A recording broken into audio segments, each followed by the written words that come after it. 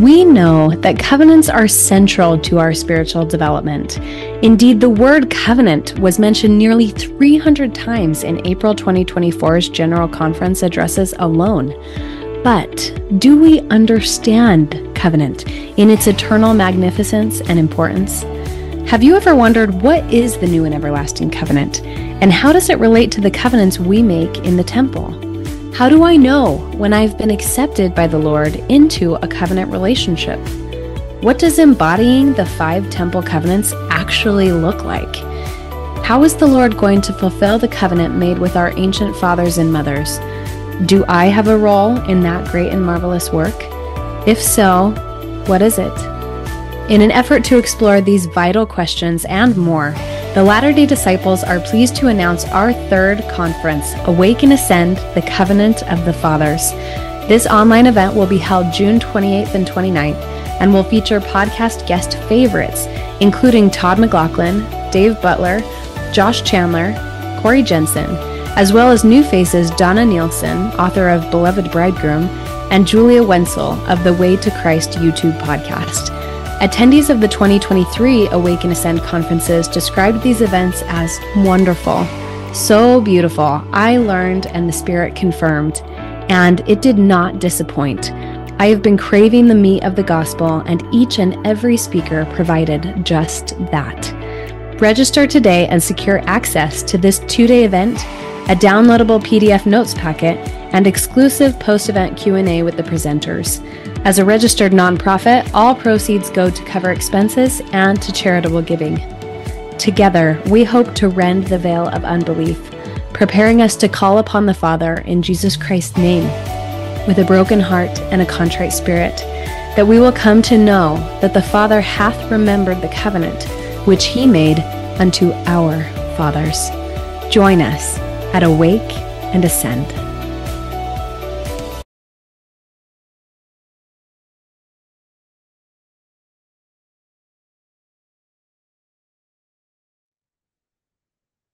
Hi, everyone. Welcome to this episode of the Latter day Disciples podcast. I am so thrilled to be joined by Allie Duzett. Allie is a teacher, speaker, author, and practitioner in the fields of health and wellness and the science of medical intuition. She has a passion for exploring the power of human consciousness and self awareness and offers a variety of programs and courses supporting personal development. She delights in helping others to massively expand their own intuition so they can heal themselves and their families on an emotional, physical, and spiritual level. Allie, thank you so much for joining us today. Thank you so much for having me.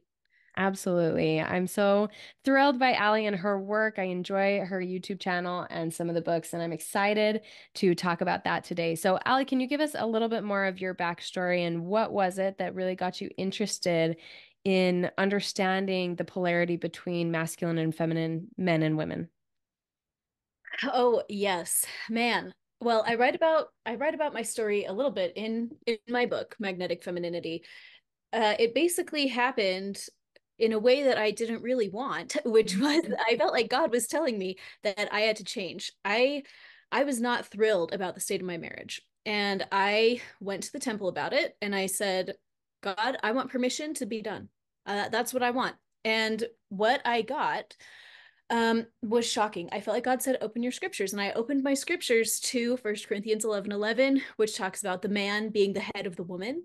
And I wanted to throw up, you know, and, mm-hmm. and God was like, don't throw up, just flip the scriptures open again. I flipped over to um is it first Peter 3 2, which is another one about wives submitting to their husbands. I'm like, okay, what what is this, God? Mm-hmm. And he's like, mm-hmm. no, no, no, keep flipping. And I'm flipping and being horrified by I I like found like basically every single scripture that hits on masculine feminine polarity, which there's not a lot of them. So it wasn't mm-hmm like on the one hand, it was very hard because what are the odds that I? right.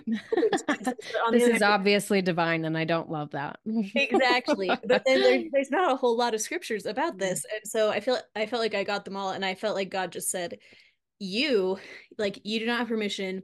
to do what you want with this situation you need to be more feminine like if you want to have a happier life you have to change you can't you can't blame other people you have to be the one to change and the way you have to do it is by being more feminine and I said, um, well, fine, but like, but how? How does one do that? And I actually, I had been, um, reading this one guy's blog and he would talk about masculine feminine sometimes and i but from a from a very masculine perspective that at times was demeaning to women but i i appreciated his scientific stance because he would post a lot of articles about like the science like our brains are different and these different you know different aspects mm-hmm. of like biological reality and i emailed him and i said okay i I am trying to be more feminine and I don't know how help me. And he actually posted my email and made fun of me on the blog.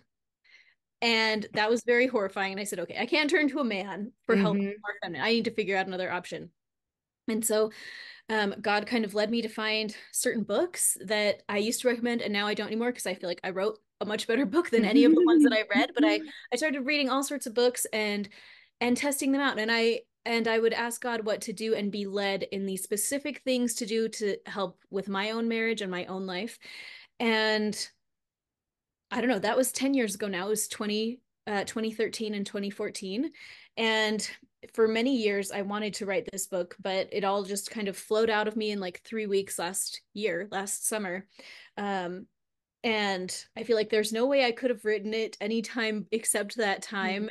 Mm-hmm. And uh, it took 10 years of synthesizing all of this information and data and finding all of the different unique resources and perspectives that I feel like I had to put together into a text that would be understandable and applicable for normal people.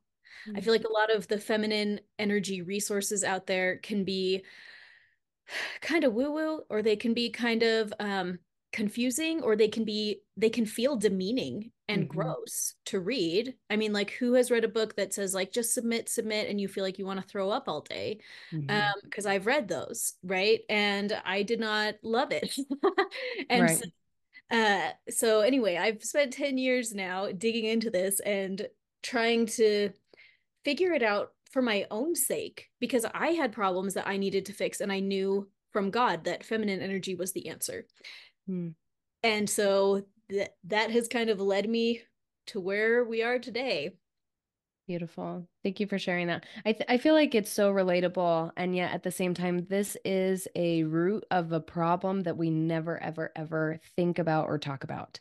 Um, I think that understanding the energetic balance in yourself and then also with your spouse and how that all comes together we don't understand what a huge play that that has into our into our personal individual spiritual relationship and into our relationship with our spouse.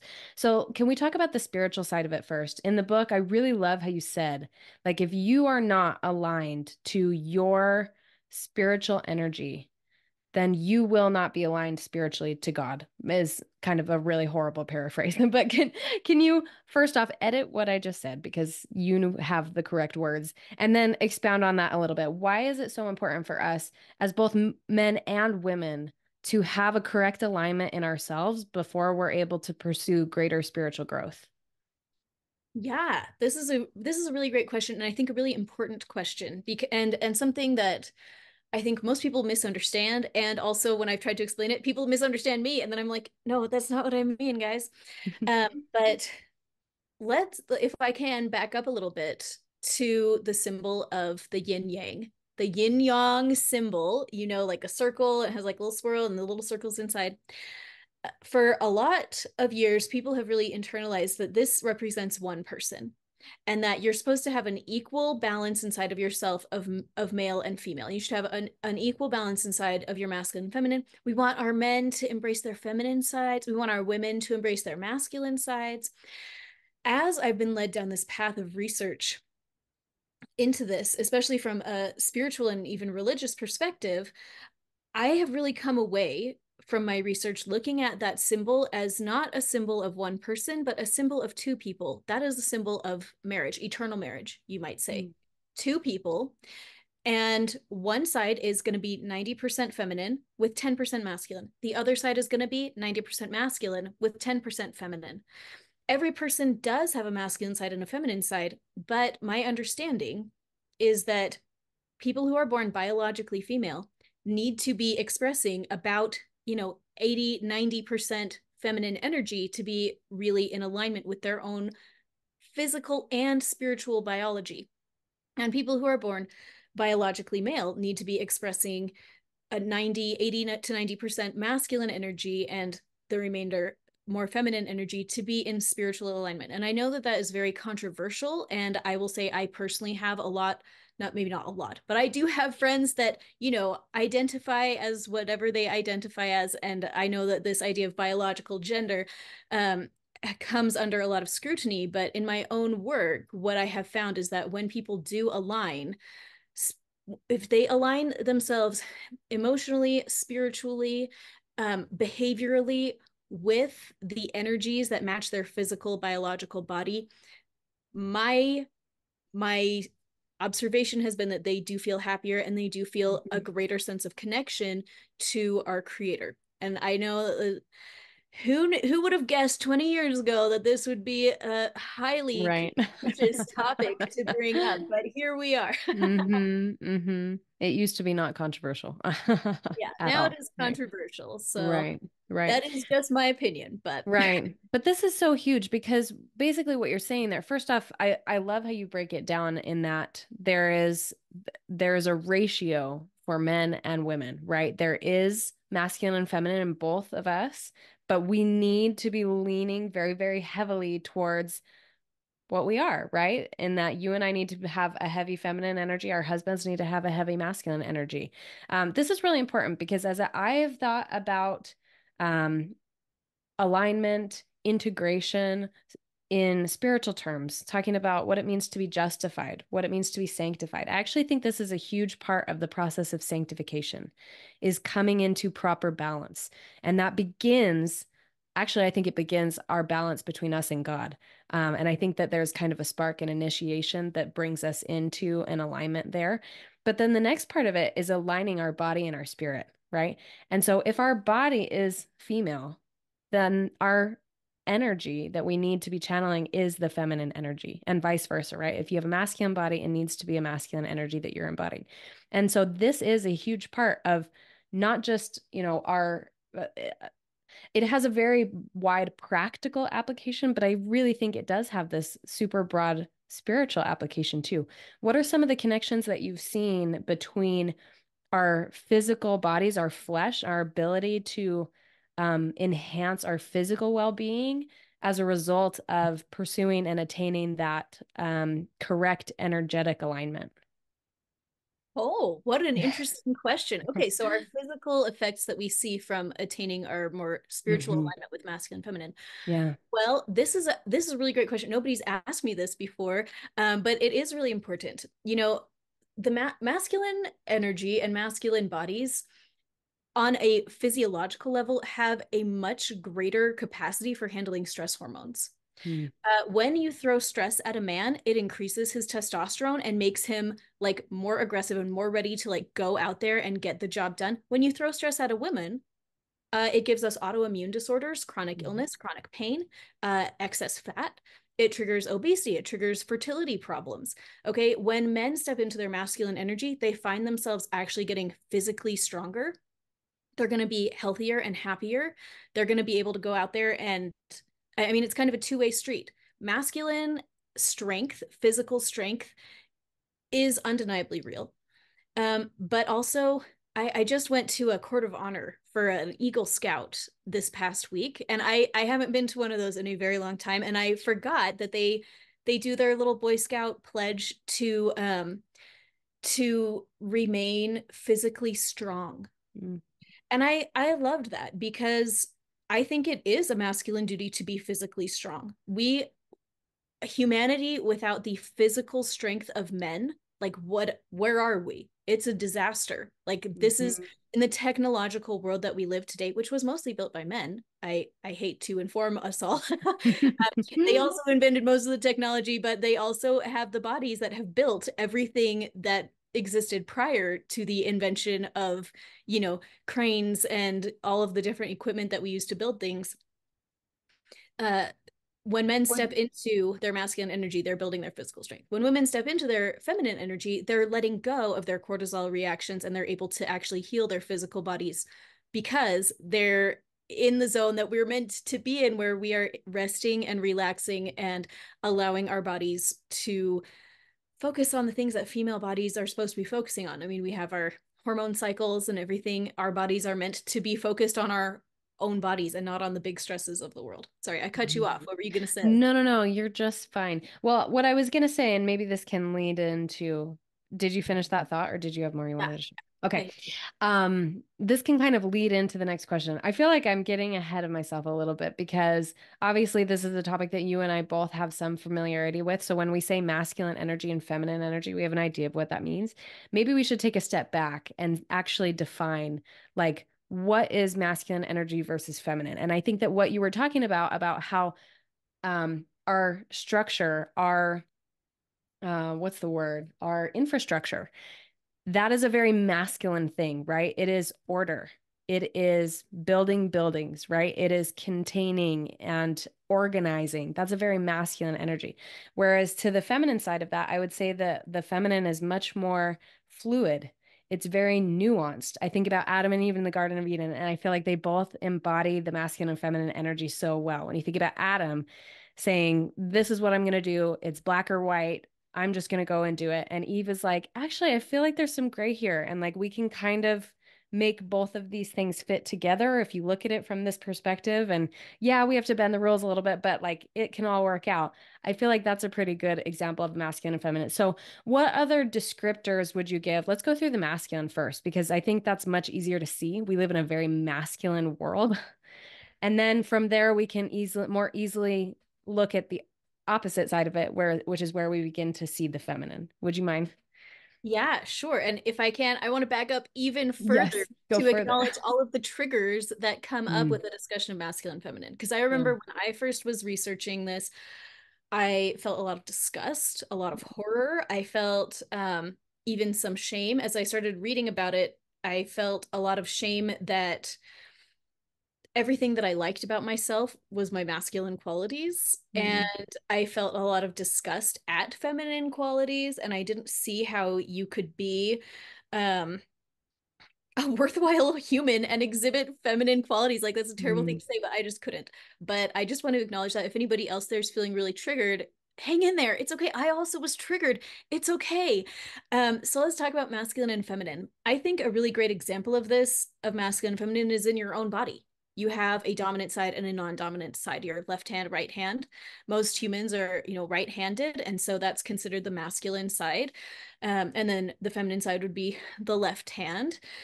Uh, the masculine side is the one that's going to be taking control. It's going to be leading. It's going to be um, making the decisions and really making things happen in the more obvious way where whereas the left uh, the feminine side is going to be the stabilizing side, the side that is holding things, um, keeping things together in in a little bit of a more subtle way. In, in the analogy of our hands, uh, this came to me while I was making cookies, and I was holding a bowl and stirring, and I and I heard God say, um, "You are the left hand," you know, and I I thought, oh, I'm uh, and so like here we have this like masculine hand that's going to be doing the stirring and the left hand is holding the bowl. It, it's a much less glamorous job. It doesn't look as important, but you try stirring cookie dough without holding the bowl. Like come on. You mm-hmm. can't, you know? Or let's try writing a letter without holding your paper down. Like mm-hmm. this is it's a disaster. Or or let's try it the other way. Let's have our right hand hold the paper down and try writing with your left hand and it's going to be a disaster. When we switch hands, um, I think it's a really good example of how things work when um, masculine and feminine try to reverse roles mm. in a marriage or even outside of a marriage. Um, for our single listeners, a lot of times when people are chronically single, it comes down to an issue of polarity and that they are not expressing the polarity that that they need to be in order to magnetically attract the other person into mm. their life. So so mm. let's talk about some sorry, some of these uh exact descriptors mm-hmm. of masculine and feminine. Really um, quick, while you pull that up, can I just share an image? So, one of the things that the Lord led me to as I was studying this was ancient Egypt, because ancient Egypt, I think, has a, it seemed to me that they had a really good alignment energetically and physically between men and masculine energy and feminine women women and feminine energy. And in Egypt, a lot of the imagery that you see is that the queen was representative of the throne and of the kingdom itself. And the man was the king. So, why is that important? Well, a king without a throne and a kingdom is nothing. And vice versa, a queen who is the throne and the kingdom without a king, it, it just doesn't work. And so you begin to see like we have been programmed to think that by saying that the woman is not the king, that means she's worthless, right? And that's where a lot of those triggers come from. I actually believe it's one of the first lies that Satan introduced into the world is that women are less than men. And so we are now 6,000 years ingrained in that idea, right? And the reality is trauma. It's so much generational trauma. But guess what? The Lord is raising up this generation of women who are recognizing it, right? And now he's going to start giving us the tools. And I think our Heavenly Parents, our Heavenly Mother is giving us the tools to say, no, that's not true. There is a proper alignment here. You guys are equal partners, but you have to learn what that looks like in an eternal heavenly sense and not just in the worldly sense. And we'll we'll come back to that because I want to talk about how all of the problems in the world are manifested in an imbalance in these things. So so we'll come back to that. But I just wanted to share that image to help listeners see like what you were saying about the right hand and the left hand. Like the left hand is not less. The throne and the kingdom are not less just because they're not the king. You need both. Yes, I love that so much. Thank you. Yeah, I mean and I'm I'm hearing this and thinking about when I was first introduced to this and even though I like understood it, I still felt emotionally triggered. mm-hmm. And I think that that's like very easy to to be because you're totally right. We're dealing with 6,000 years of trauma and mm-hmm. drama mm-hmm. around this mm-hmm. issue and a lot of um I, I mean it is it is real like women have truly suffered at the hands of men for generations and mm-hmm. um and men have suffered at the hands of women I'll right. too I'll say that too but right. um, but and men and women are both delivered by the hands of men too. Jesus that, Christ is a man. And that's important that for us to remember. That is yeah. true. And mm-hmm. he was born of a woman, which yes. as a little side note, um, in the Catholic Church, I, I, once took a whole college class only about Hildegard von Bingen, who was a Catholic saint in like the 1200s. And she was actually the first person to ever like point out to the Catholic Church that Mary was a woman, so maybe we should stop hating women so much. And that's why she's a saint. Basically, like she did a bunch of she was the one that was like, guys, you hate women, but Mary was a woman. They were like, oh, oh, I get it. You know. oh my gosh, that's amazing. There's been there's been a lot of uh of horrible stuff about this, but mm-hmm. um, but okay, I'll read this one little paragraph really quick. Nature wise, masculine energy is like the earth, and feminine energy is like water. The earth is steady, stable, and solid. Water is always moving, always bringing life wherever it goes. Without both earth and water, life cannot exist. You need both. One is not better or more important than the other. Mm-hmm. Beautiful. Yeah, I was thinking about, you know, a way that I have kind of been taught to think about this. Our Heavenly Father, right? The ultimate masculine energy, the ultimate healthy, balanced masculine energy that we want all our men to be, right? Um, his role, if we could kind of separate these things out, uh, if we could take the yin and the yang apart, which is so hard to do once they're brought together, but if we could, we would see that he is the one who orders matter, right? He is organizing, he is creating in that capacity. And what is it that our Heavenly Mother does? Our Heavenly Mother gives the breath of life right? Just like that water. I love how you said it's life giving. That is what women do. That is the priestesshood that we are all a part of, is that we give life. But in order to do that, in order to bestow the breath of life, we have to breathe. And I feel like women have forgotten how to breathe over the over, you know, over the centuries because of this imbalance. Hi. The baby doesn't like the floor right now. Okay, baby doesn't like the floor. We're going to hang out. You're a good prop for this discussion. That's true. Talk about bringing life into the world. I know how fortuitous. It's like I planned it, but I didn't. anyway, so so that was just a thought that I had is that our job is to breathe life. And that means we need to be living. We need to have breath. We need to have space to be able to nurture and care for and love our family. And so it is good for our men to step up and take those things off of our plate that is take that is making us breathless, that is that is inhibiting our ability to do that. Yeah, thank you. I mean, I think in the modern world, I would bet that most people listening can relate to this stereotype of the woman is the one managing the calendar for the family. She's driving everybody everywhere. She's possibly managing the checkbook. She's she's the one worried about the taxes. She's the one um, worried about everything, and the husband is is very often showing up for work. Uh, and then uh, then what? Then Mm-hmm. maybe he's hanging out and uh, Mhm. and so I think that that's Playing video games, watching Yeah. YouTube, spending an hour in the bathroom. Yeah, yeah, I think we all can relate to this, right? uh, I think that that this is like the normal. This is the new normal Mm-hmm. where um you know I don't know. It's it's been an interesting development culturally where you know a hundred years ago, two hundred years ago, of course, women would ne- this would never have existed because we weren't allowed to, right? Mhm. Like legally, um, there was just so much that women could not do, and now we can do it, so we are doing it, and then we're doing everything, and men are floating about aimlessly feeling this like purposelessness that they channel into Mhm. porn and video games and then and women are being stressed out of their minds managing everything they've Mhm. taken over all of it and i don't know that's kind of uh kind of where i was at you know when i first started getting into this and i felt i felt very horrified at this idea that this dynamic was my fault somehow um which i don't think is how i would put it i think Mhm. but like in the moment that's how i felt Right. like what that i made this happen because Mhm. i'm not feminine enough barf and oh the way out is i mean of course at the time the only word i could find was submission i'm like Mm.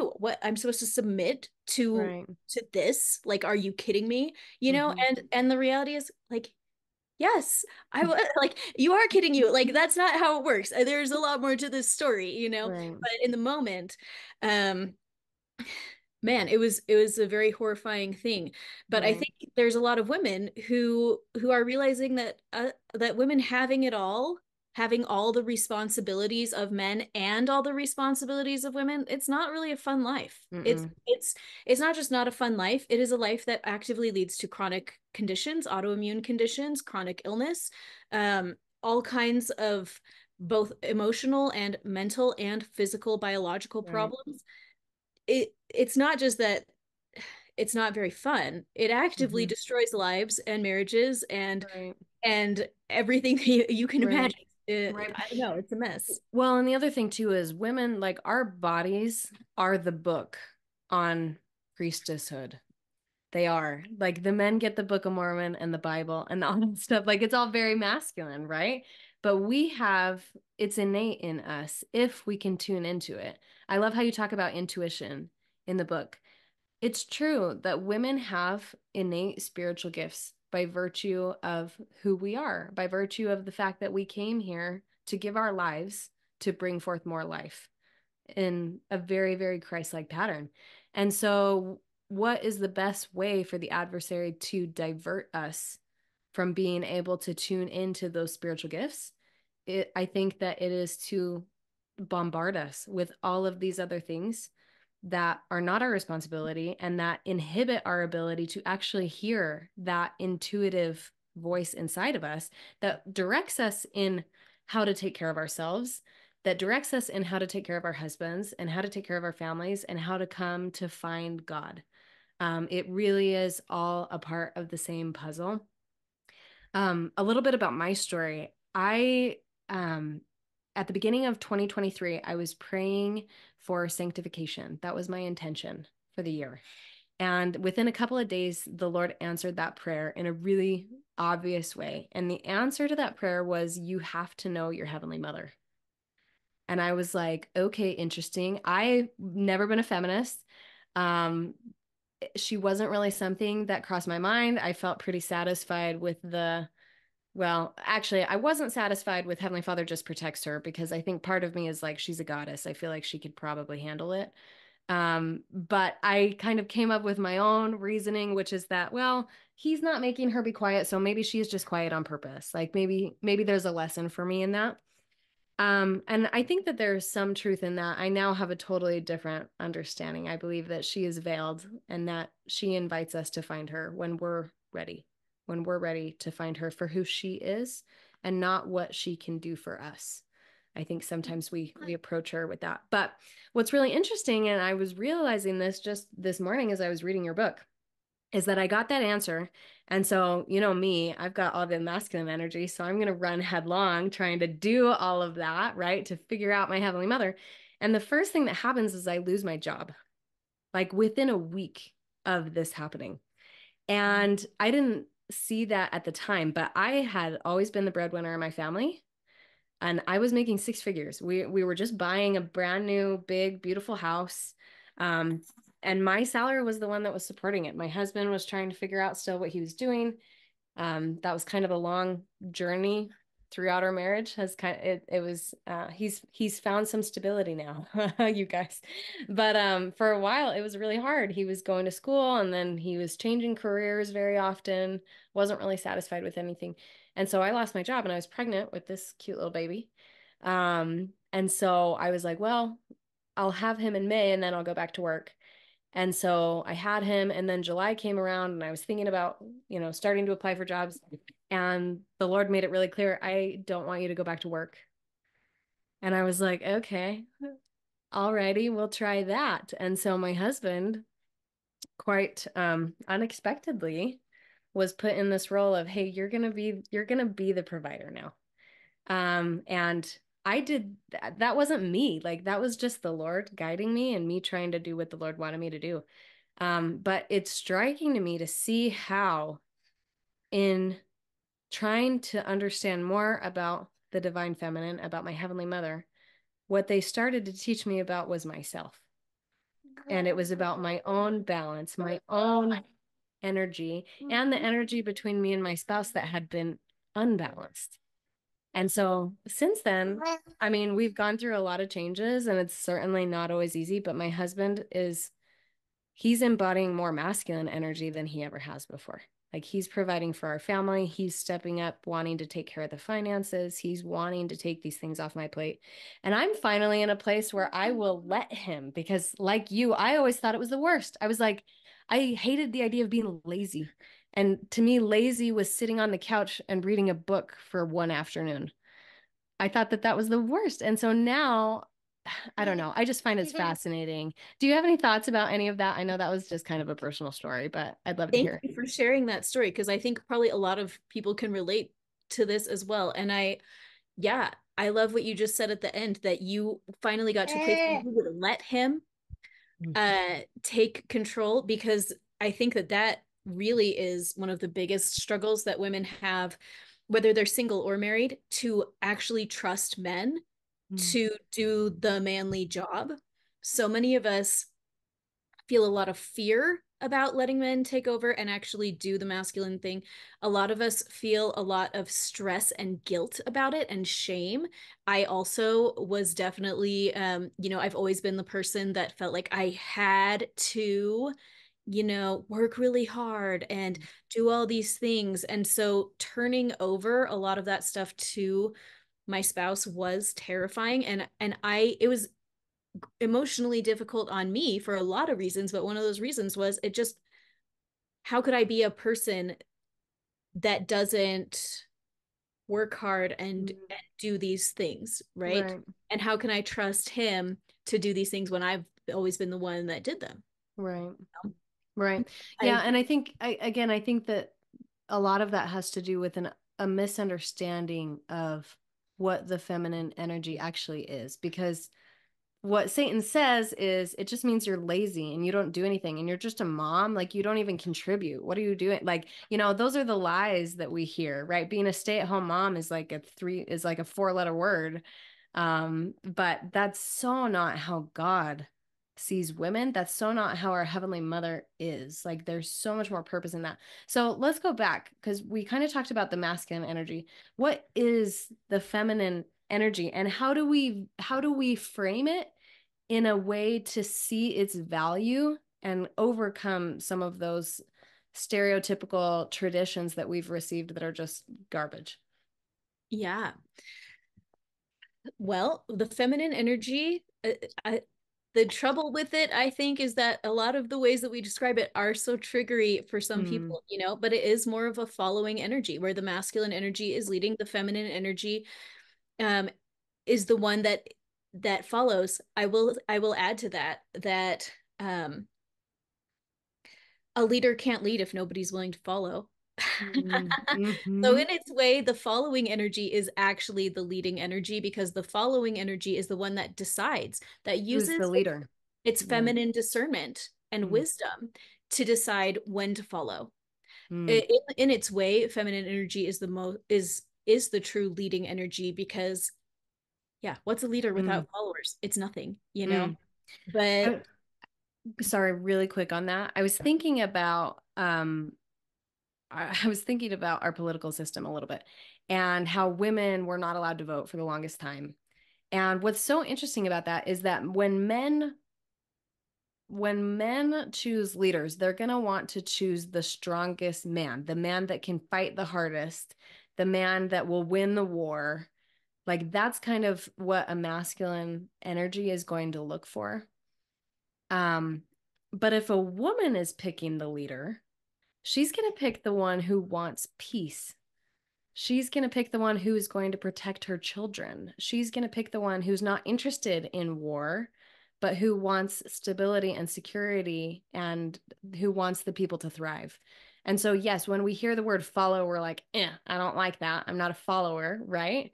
But you're you're so right when you say that. Like if if women had been the ones to elect the leaders, before like and i don't want to i'm not suggesting we cut out men that's not what i'm saying but what i am saying is that we would have a much different history than what it we've leads to a different dynamic right yes women mm-hmm. tend to vote overwhelmingly for for strong social welfare programs mm-hmm. um i think it is really interesting that um single women are overwhelmingly very liberal and married women are overwhelmingly much more conservative. Mm-hmm. and i i think it's a sign that women are looking for a masculine leader in their lives and if we're married then our husband becomes that leader and if we're not then we want the government to provide for us and lead us. That is what i take away from the statistics on that mm. for sure. So it is a very interesting dynamic. Um, but feminine energy is it's wise it's discerning. Um, it feels it connects with the body. Where masculine energy is preoccupied with logic feminine energy is preoccupied with feeling and intuition. Mm-hmm. and and tuning in with the feelings of our physical body for wisdom instead of just the textbook for the science facts right? Mm-hmm. um, and you need both you really do need both. Intuition and wisdom is really great, but it's probably not going to build you the most efficient house you know and logic is really great and you know doing the science facts is really great and it probably can build you a really great house but is it going to make that house feel like a home? Is it mm-hmm. going to um you know raise emotionally well adjusted children right? You need both and every every human needs both. We need our logical side and we need our intuitive side. Men men have access to connection with our creator and access to their own intuition and women have access to their logical side and both men and women need to be um, need to be finding their appropriate balance within of both of those things in order to have functional lives mm-hmm. Mm-hmm. Beautiful. Yeah, I I love that example you gave. I'm like, yes, a husband can build you a house, but is he going to decorate it for Christmas? No, he's not. Yeah, exactly.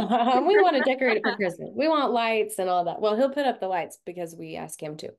Um, anyway, yeah, that's beautiful. So let's talk a little bit more about how these things get unbalanced, right? Because I think that that's kind of even the tone of this conversation. There's the assumption that we're all pretty much unbalanced in ourselves and our community, our nation, the world at large is really, really unbalanced. So, what happens to men and women when they perceive a lack of the opposite energy that they need for their own stability and development? Yeah, this is a great question. So, my understanding and observation is that when women do not sense a strong enough masculine force, um, they ma- they self masculinize.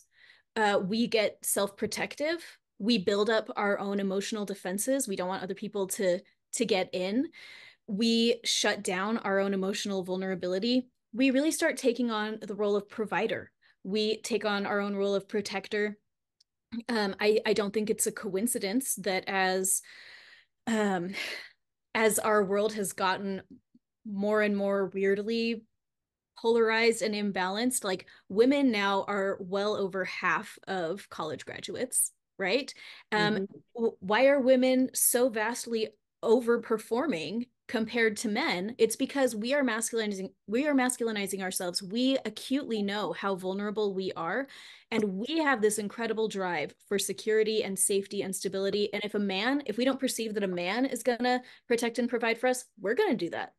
We're going to do that. So we go out there and we get the college degrees and we get the great jobs.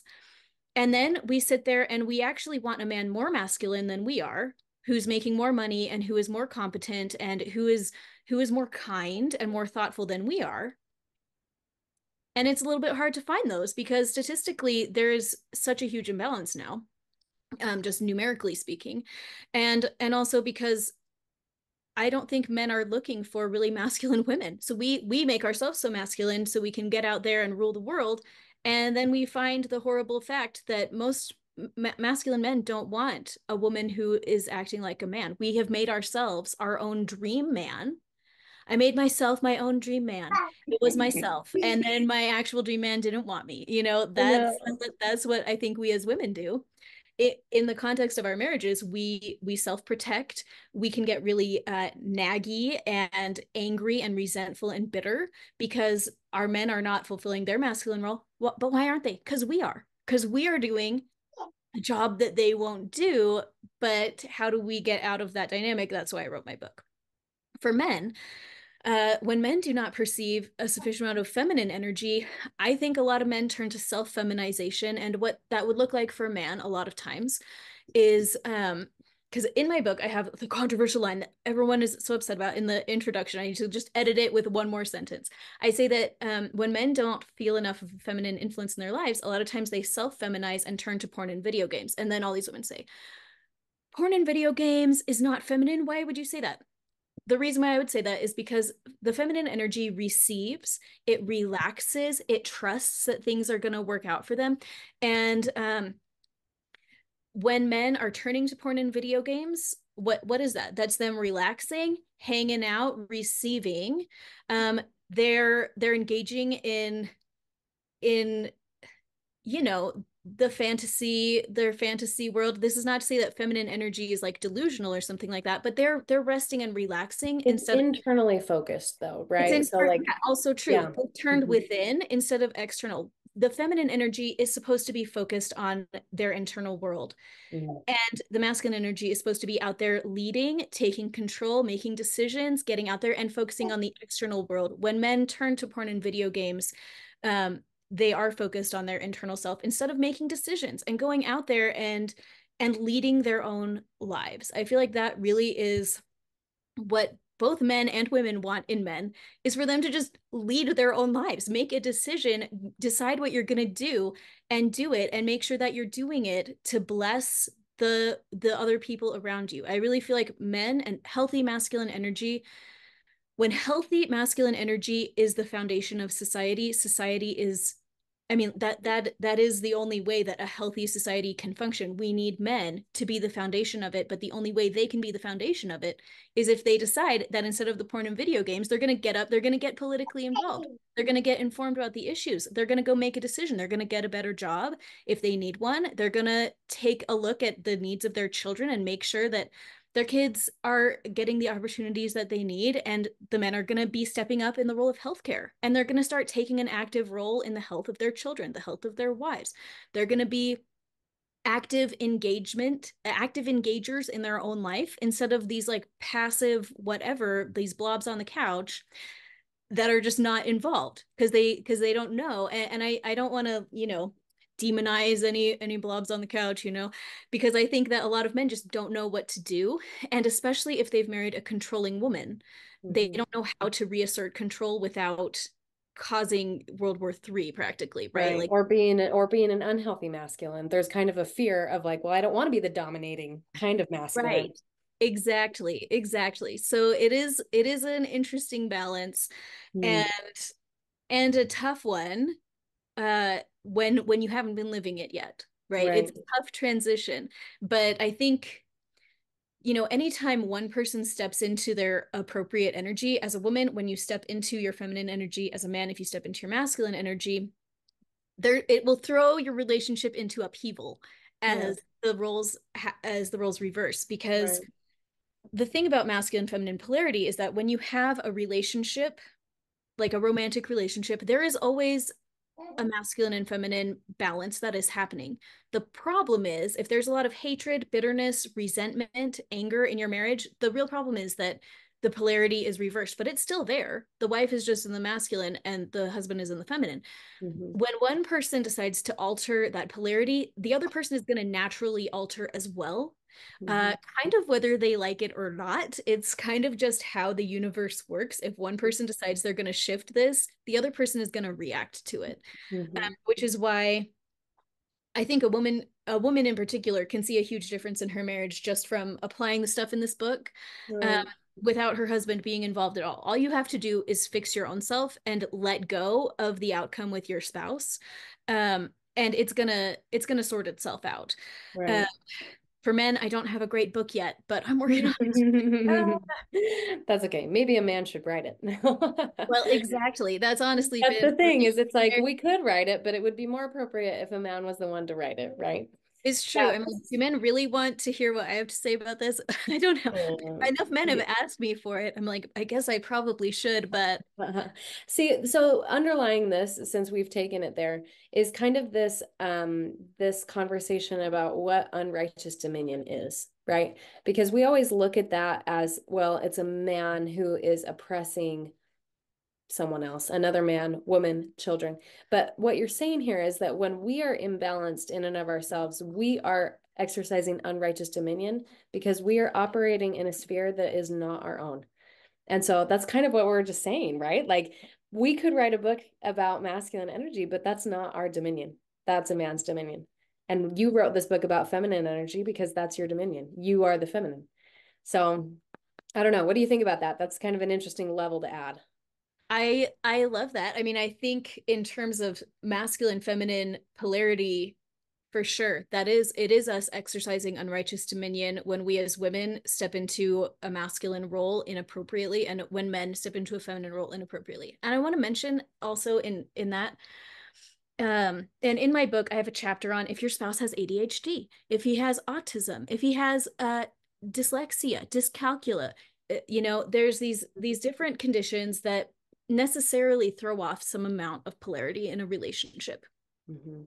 Um, and I don't, I, I mean, in those cases, I think it's very appropriate to, you know, use your feminine energy and your wisdom and connect with God and and discover how God and your own soul feel good about applying these principles to your own marriage because all of our marriages are really different. Mhm. Um, but yeah, I think I think whenever we're we're stepping into a space with this that is not in alignment with with what God thinks that we should be do, it is a form of unrighteous dominion. Mhm. As far as me writing a book for men, I don't know. I'm still I'm still uh feeling that out, but we'll see. We'll see. no, I, I think the option is totally on the table. And if the Lord tells you to do it, do it, girl. Because here's the thing at the end of the day, the Lord's going to use all of us in our various gifts in the way that He wants to. And that is the proper alignment, right? It's I true. wanted to I wanted to be sanctified and so he had to right side me a little bit and say stop being so freaking masculine and doing all these things so that your husband can feel needed. Like I think that that's a really important thing for us to say is that our men want to feel needed. And if we are taking all of the responsibility upon ourselves, they're not going to feel needed. And so what do you expect them to do? They are going to fall back into this energy of just not doing anything. Um and and it is unhealthy for men. For women, I would characterize it differently. I would say that for women, our superpower is that we are the energy of enablement. We are, and we've talked about that a couple of times, but like we are the force that allows things to be directed by men.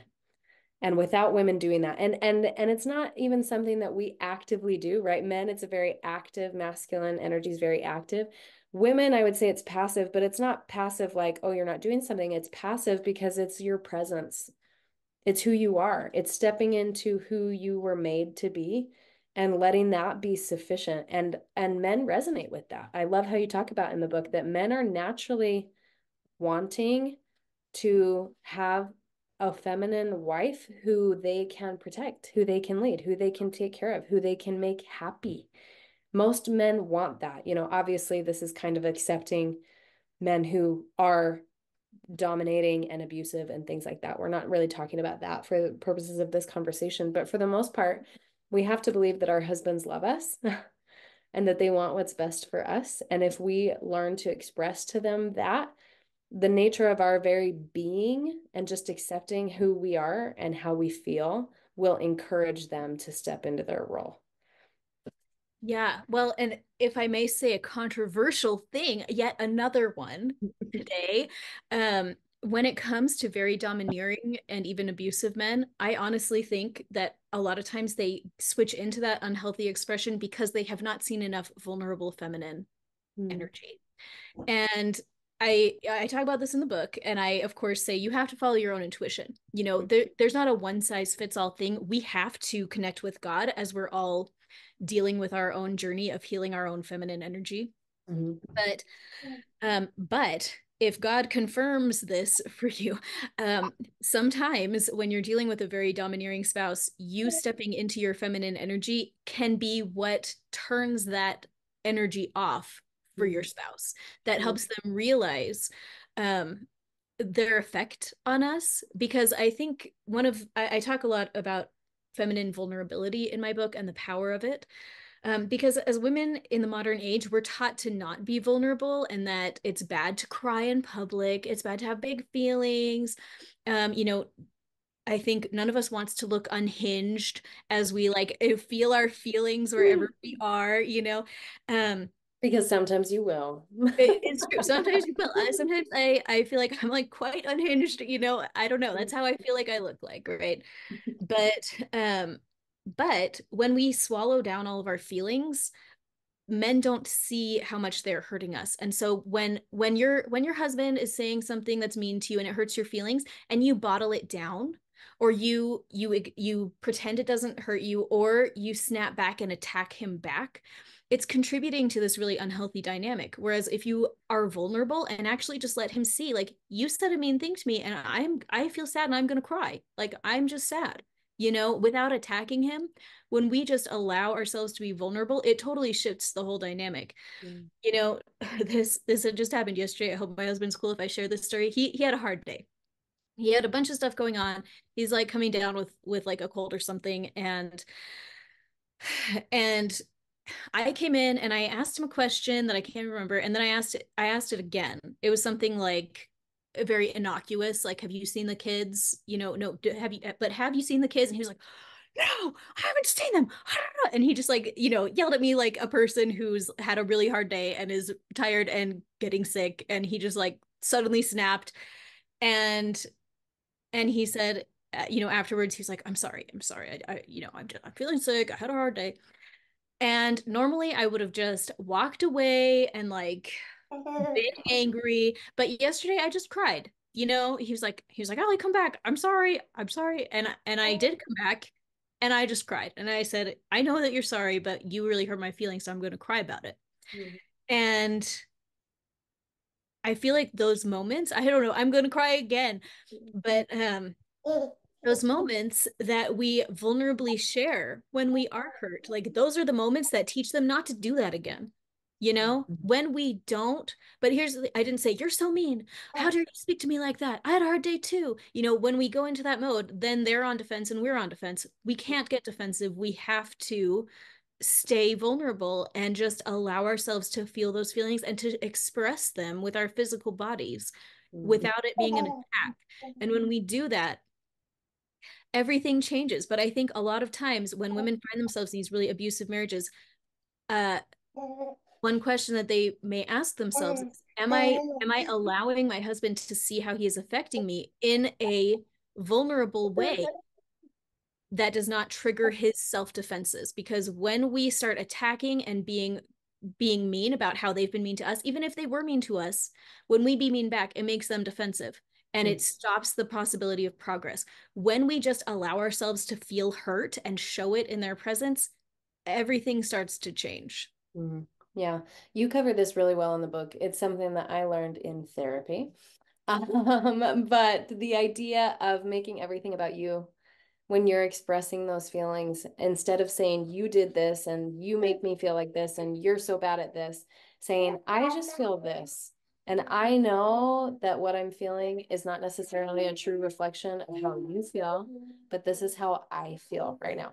And just totally owning it takes it off of them right? Because when you come at them throwing all these you statements yeah you're you're accusing them you're attacking them you're doing the same thing that you feel like they're doing to you and that's not going to fix the problem right? And so taking ownership for your emotions in a way that is non-confrontational to allow them to process it and say oh this is her. It's not about me. Like they don't have to take it so personally because i think that's something that we've witnessed too um is trying to have a conversation about you but because of the words that you're using they're making it all about them. And so then that's even more frustrating and it kind of it kind of exacerbates the problem. Yeah. Oh yeah. That is so true.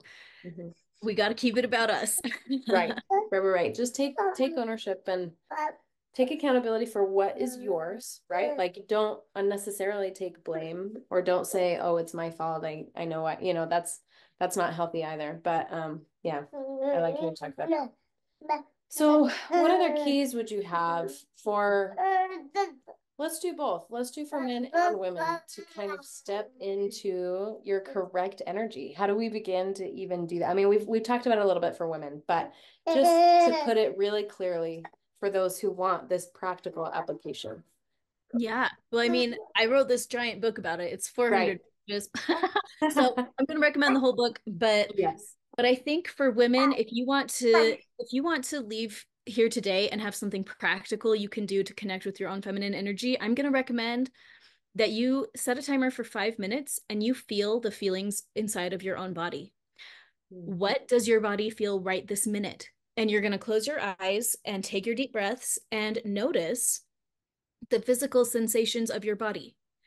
Uh, and if you feel numb you're going to feel that numbness as much as you can. You're going to feel that numbness and you're going to describe to your own self, you know, I feel my heart beating. I feel my head buzzing or pounding or whatever whatever sensations you've got you're going to feel them and describe them to yourself and this is one of the most powerful ways that that women can access their own intuition and their own connection with with god and our bodies we experience god through the medium of our bodies so the greater connection we have with our own bodies the easier of a time we're going to have hearing the voice of God.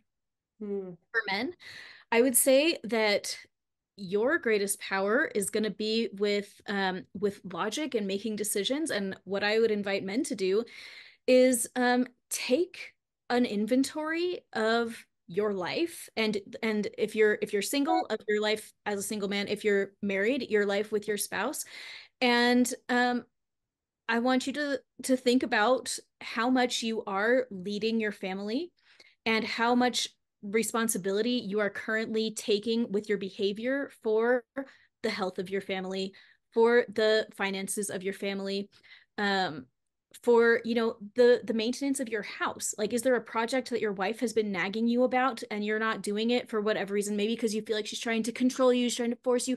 You'll get to it when you have have time she's nagging you because she can't fix this and she needs you to do it and she's probably not approaching it in a very feminine way and if she were you'd be a lot more happy to do it but if you actually exert the masculine energy to go and and fix your own house to take some responsibility for your kids medical care you know go talk to your wife and find out what what is going on with all of your kids health situations or your wife's health situation.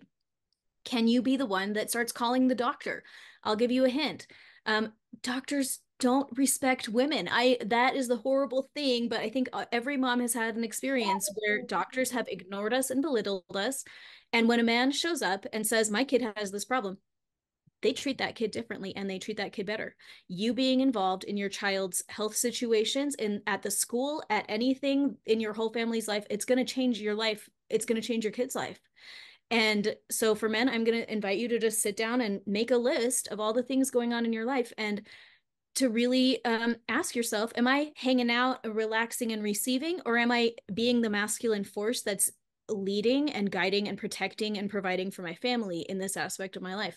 And you're going to use your masculine logical brain to reason this out. And then you're going to make yourself a plan for how you're going to be more masculine in these areas. And again, masculine masculine energy is healthy leadership. And the, the, again women can exert healthy leadership as well. I feel like i do. I feel like you do running your podcast right? We're doing this. Um, but men your job is to exert healthy leadership. How are you exerting healthy leadership over the meals in your family in your family? You know how are you exerting healthy leadership over um, you know your kids education how are you doing this? So you're going to just be logical about it, reason it out, and, and start making a plan of how you're going to take more action, how you're going to take stuff off your wife's plate that she shouldn't be carrying. If you're a single man, uh, you get to um, make make some decisions about how you're gonna how you're gonna lead your life. What do you what do you want to get out of life anyway? And you're gonna start start going for it. Lead your own life. That is the essence of masculine energy. Go out and lead yourself. Yeah, wow. What a countercultural thought. I love I love those very practical approaches. I love how it plays to our strengths, right? It is very masculine to be uh, very mind centered, right? The thinking, the logic, and the feminine is to be in touch with your physical body and your intuition.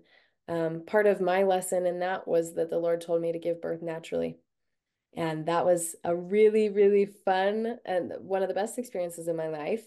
And such a great way to step into that feminine energy, right? Of learning what my body is actually saying and experiencing to bring forth life. I think that that's a wonderful example of what the feminine energy is. Um, you know, you you mentioned and emphasized healthy leadership. I think that is so important. And healthy leadership, the pattern that our God has given us is servant leadership it is stooping down to wash someone else's feet. And our men can only do that if they have someone that they can serve. And so, in some ways, this is a way that we can step into being a queen and a priestess is letting our husband serve us. Um, and I think that that is something that the Lord is pleased with. One kind of final question, and then we'll wrap up. I could I could talk to you much longer about this. But I'd love to hear how understanding this dynamic has taught you more about your Heavenly Father and your Heavenly Mother and your potential to become a queen and a priestess in the same pattern as our Heavenly Mother. The story that comes to my mind is of a time that that a- after I had discovered all this feminine energy and things had gotten so much better, uh, something happened uh, in, you know, my primary relationship where I I said, "Oh, this this kind of thing, you know, some marriages don't always survive this kind of thing."